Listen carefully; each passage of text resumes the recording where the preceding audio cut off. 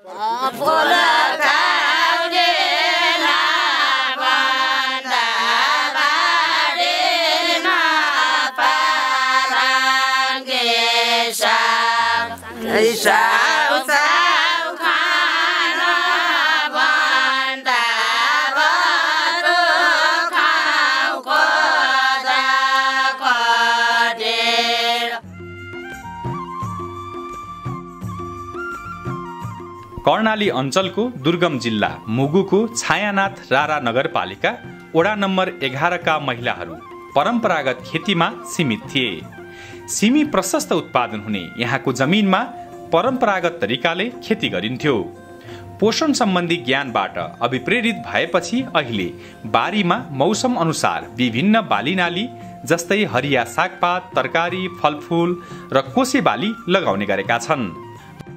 यसरी कुम खाँदाखेरि हाम्रो चाहिँ शरीरमा एउटा वृद्धि विकास चल्न घट्दो रहेछ भन्ने एउटा त्यो पनि जनचेतनामा वृद्धि भयो सर विगतको वर्षहरूमा चाहिँ टन्न यो बारी बिरुवामा हाम्रो करेसा बारी बिरुवामा त्यो तुमक खाने खाली काँचो हरियाली हुन्थ्यो हेर्नुहोस् जताततै अहिले त्यो चट्टक्कै छोडेर हामी चाहिँ त्यसमा साग उत्पादन गरेर राखेका छौँ। उहाँको सिकाइले गर्दा हामी त्यसमा पनि हामी अलिकति वृद्धि भइसकेका छौँ।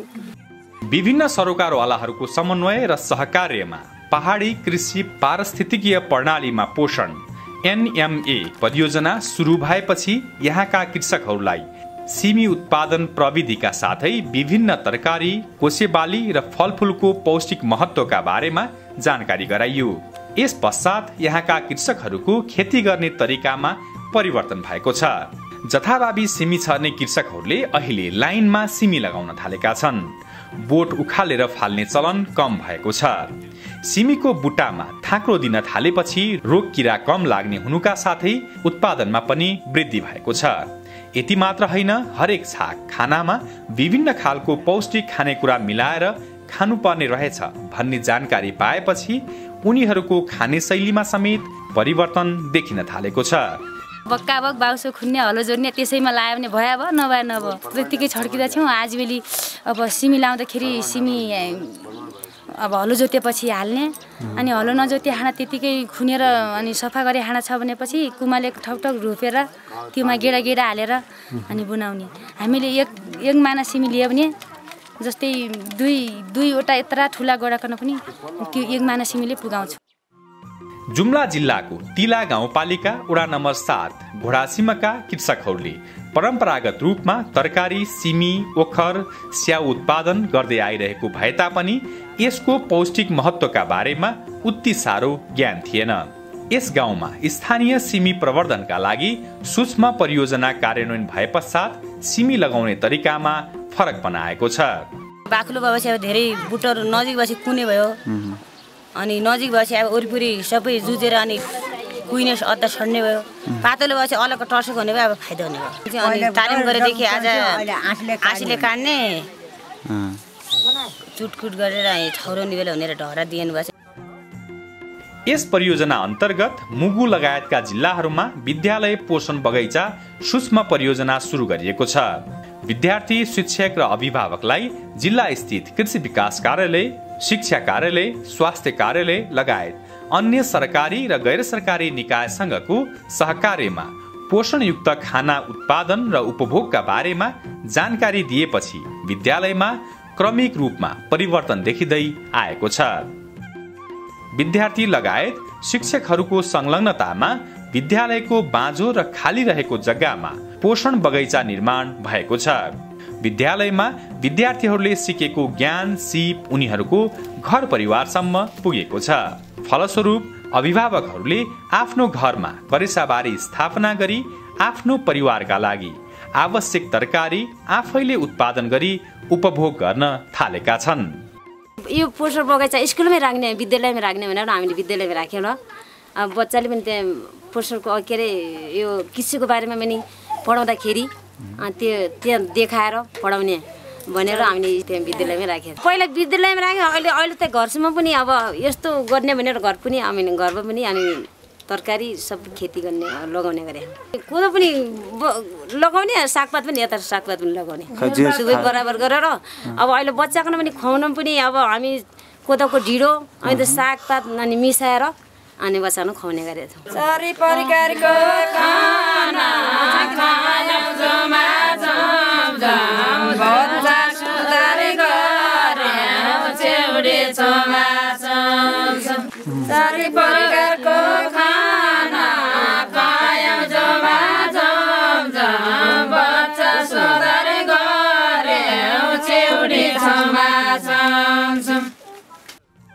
विद्यालयमा पढाइ हुने कृषि विषयलाई थप प्रभावकारी बनाउनका लागि विद्यालयमा करेसाबारी जरुरी भएको महसुस गरिँदै आएको भए पनि यसको व्यवहारिक ज्ञान दिने काम भने सूक्ष्म परियोजनाले थालनी गरेको हो।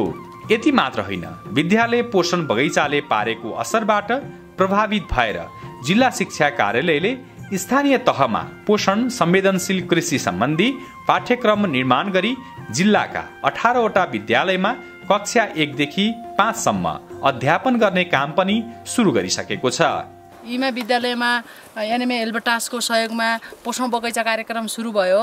त्यहाँ भइसकेपछि त्यहाँ शिक्षक अभिभावक विद्यार्थीहरूलाई पोषण युक्त खानाहरू खानुपर्छ तरकारीहरू खानुपर्छ आफ्नो घरमा तरकारीहरू लगाएर आफू खानुपर्छ र भन्ने अभियान ल्याइसकेपछि अभिभावकलाई जुन बिउ बिजनहरू दिएर ज्ञान सिपहरू सिकाइ आदान प्रदान जुन विद्यालय पोषण बगैँचा बनाउने क्रममा हेर्दाखेरि उहाँले आफै आफ्नो सक्रियतामा बनाउनु भयो त्यो चाहिँ उपलब्धि भएको छ। सानो र साँगुरो गरामा समेत प्लास्टिक घर हालेर परम्परागत तरकारी उत्पादन भन्दा फरकपन ल्याउने गरी बेमौसमी तरकारी उत्पादनमा कृषकहरू लागेका छन्।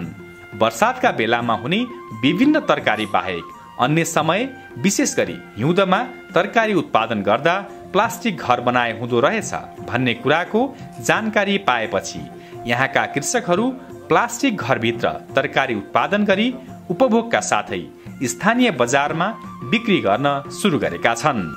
शरीरलाई चाहिने अन्य खानेकुराहरू उपभोग गर्नुपर्ने रहेछ भन्ने कुरा थाहा पाएपछि तरकारी बिक्री गरी आएको आम्दानीबाट दुध दही माछा मासु फलफुल लगायतका खानेकुराहरू उपभोग गर्दै आएका छन्। यो त हाम्रो सङ्घ संस्थाहरू आएर सर अब फेरि बजार व्यवस्था नजिक भयो हुनाले हामी त्यहीबाट अब सिक्यो अहिले। पहिला त थाहा थिएन। पहिला त हामी अब जाउ गाउँ बाउने हाम्रो सिस्टम त्यही थियो।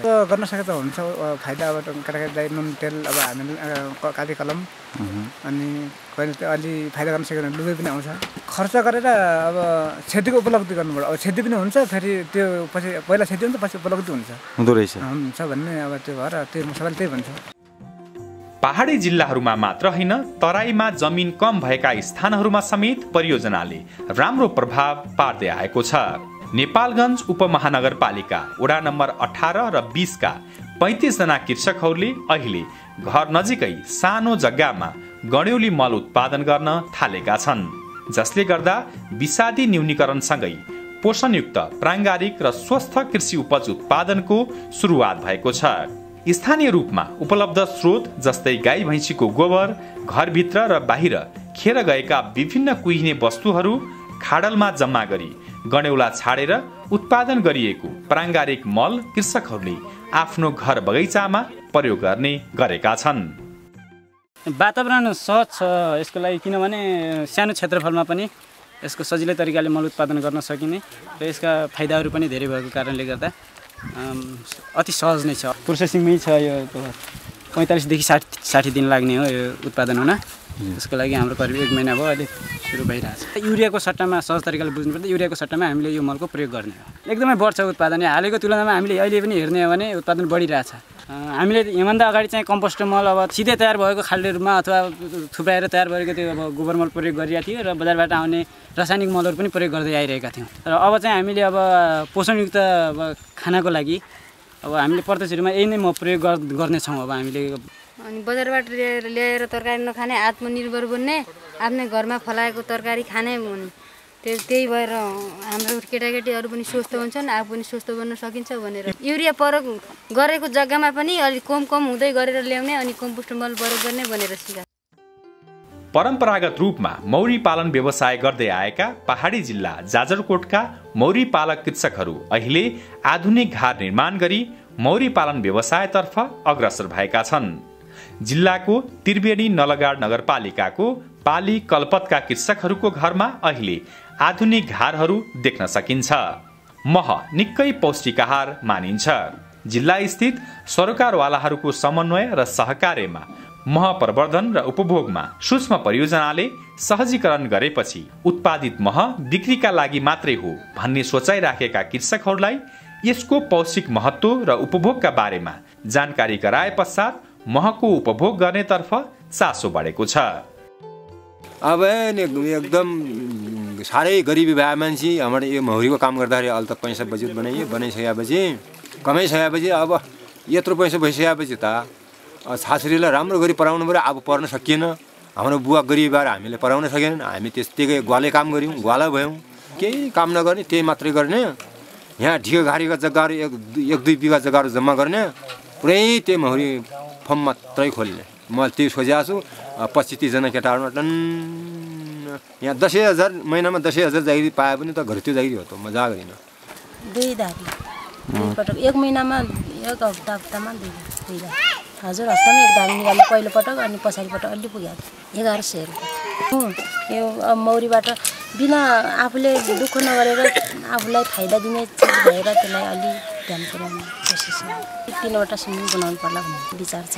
परियोजना एउटा छ अनि घरेको एउटा गरेर दुईवटा यस्तो तरिकाले पालेका छौँ त्यस कारणले यो गुणस्तर छ भनेर भन्न सक्ने आधार हामीले किसानहरूलाई सिकाउँछौँ। देशबाट बाहिर निर्यात गर्दाखेरि विदेशी कम्पनीहरूले विदेशी संस्थाहरूले नेपाल जस्तो देशमा अल्प विकसित भएको कारणले गर्दा कति पेस्टिसाइड प्रयोग भएको छ कति अरू विषादीहरू प्रयोग भएको छ त्यसको लेखोजोखा हुँदैन र जथाभावी तब तपाईँहरूले म राख्नुहुन्छ काट्नुहुन्छ यसमा चाहिँ गुणस्तर चिज राम्रो भए पनि अरू चिज मिसिया छ भनेर शङ्का गरेको अवस्था रहेको हुनाले हामीले पेस्टिसाइड रेजिड्यु मोनिटरिङ प्लान त्यसको पनि पहिलो पटक एउटा एवारनेस दिने तालिम मैले त्यसैमा समावेश गर्न लगाएको छु।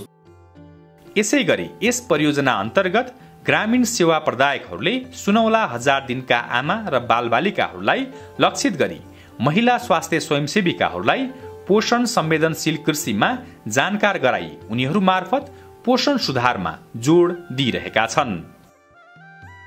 स्थानीय स्तरमा विभिन्न जनचेतनामूलक कार्यक्रम जस्तै लोकगीत प्रतियोगिता देउडा प्रतियोगिता स्थानीय खाद्य तथा कृषि मेला प्रदर्शनी विद्यालय स्तरीय हाजिर जवाफ वाद विवाद चित्रकला प्रतियोगिता आदि आयोजना गरी कृषि मार्फत पोषण सुधार सम्बन्धी बानी बिहोरामा परिवर्तन ल्याउने पक्षमा जोड दिइरहेको छ। स्थानीय रूपमा उपलब्ध तर कम महत्वमा रहेको सिस्नो प्रशोधन मार्फत बिक्री गरी आम्दानीमा जोड दिइँदै आएकोमा सिस्नोमा रहेको पौष्टिक तत्त्वको बजारीकरणमा पनि जोड दिइरहेको छ यस परियोजनाले। सिस्नोका साथै स्थानीय कृषि उपज जस्तै सिमी भटमास मकै कोदो चिनो कागुनोको उत्पादन उपभोगका साथै यसको बजारीकरणमा पोषणलाई पनि जोड दिइँदै पोषण संवेदनशील बजारीकरण तथा मूल्य श्रृङ्खलाको अवधारणा पनि यस परियोजनाले प्रवर्धन गर्ने जमर्को गरिरहेको छ। खाना तलदेखि सबैलाई चाहिँ बनाएको हुन्छ। खाए खाए नखाए नखाऊ होइन?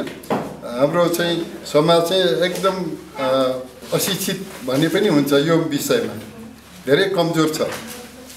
र हामी कृषिबाट पनि धेरै प्रयास गरेका हुन्छौँ पोषणको लागि।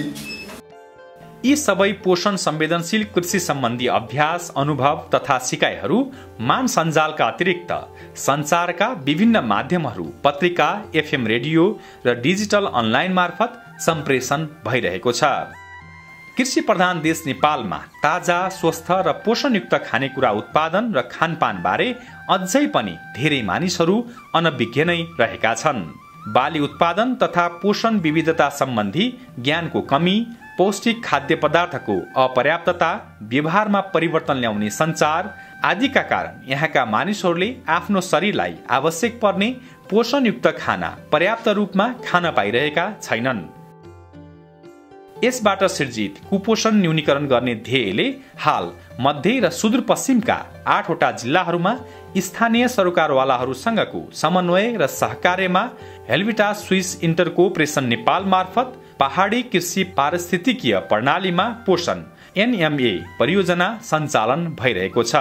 कृषि पारिस्थितिकीय प्रणाली तथा अन्य पोषण संवेदनशील अभ्याससँग सम्बन्धित अन्वेषण तथा विविधीकरणमा सहजीकरण गर्ने सेवा प्रदायकहरूको सञ्जाल मार्फत पहाडी ग्रामीण समुदायको पर्याप्त पोषणयुक्त खानामा पहुँच सुधारका लागि योगदान गर्ने यस परियोजनाको मुख्य लक्ष्य रहेको छ।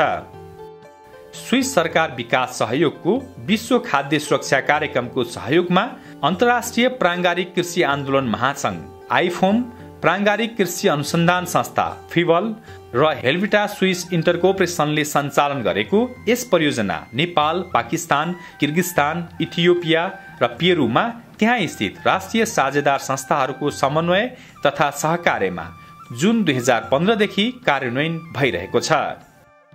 स्थानीय स्तरमा पोषण संवेदनशील कृषि अभ्यास कार्यान्वयन गर्ने यसको नतिजा र सिकाइका आधारमा राष्ट्रिय स्तरमा पोषण संवेदनशील कृषिका लागि सहज वातावरण विकास गर्नुका साथै अन्तर्राष्ट्रिय स्तरमा यस विषयका पक्षमा पैरवी गर्ने यस परियोजनाको उद्देश्य रहेको छ। यस परियोजनाले स्थानीय स्तरमा ग्रामीण सेवा प्रदायकहरूको ज्ञान सिप सफलताका कथा तथा सामाजिक पुँजीका लागि कार्यगत सञ्जाल पहाडी कृषि पारिस्थितिकीय प्रणाली कार्यगत सञ्जाल मान विकास गर्ने स्थानीय तहमा पोषण संवेदनशील अभ्यास सम्बन्धी ज्ञान अभिवृद्धि प्रसार सामाजिक समन्वय र एक आपसमा उत्प्रेरणाका लागि यो सञ्जाल मान मार्फत प्रत्यक्ष र अप्रत्यक्ष रूपमा इन्टरनेटका माध्यमबाट ग्रामीण सेवा प्रदायकहरूको सहजीकरण क्षमता अभिवृद्धि सिकाइ आदान प्रदान गर्ने काम गर्दै आएको छ भने राष्ट्रिय स्तरमा पोषण संवेदनशील कृषि र विपन्न वर्गको जीवनस्तर सुधारमा योगदान गर्ने राष्ट्रिय स्तरका नीति रणनीति सुधारका लागि ज्ञान विचार आदान प्रदान गर्ने कामलाई जोड दिइरहेको छ। एनएमए परियोजना अन्तर्गत मान सञ्जाल मार्फत हालसम्म दुई हजार चार सय पन्चानब्बे घरधुरी प्रत्यक्ष रूपमा लाभान्वित भएका छन् भने अप्रत्यक्ष रूपमा अन्य व्यक्ति परिवारले पनि पोषण संवेदनशील कृषिका बारेमा ज्ञान प्राप्त गर्ने यसलाई व्यवहारिक रूपमा अभ्यास गरी लाभ लिन सक्ने अवसर पाएका छन्। सबैजना खानु सागबाट भिटामिन पाइन्छ सबैजना खानु। तरकारीको खेती मेरो त यही हो तरकारीको खेती। किन लाग्छ यति आफ्नो भन्दा बिउको माया? किन लाग्छ यति? किन लाग्छ यति आफ्नो भन्दा बिउको माया? किन लाग्छ यति?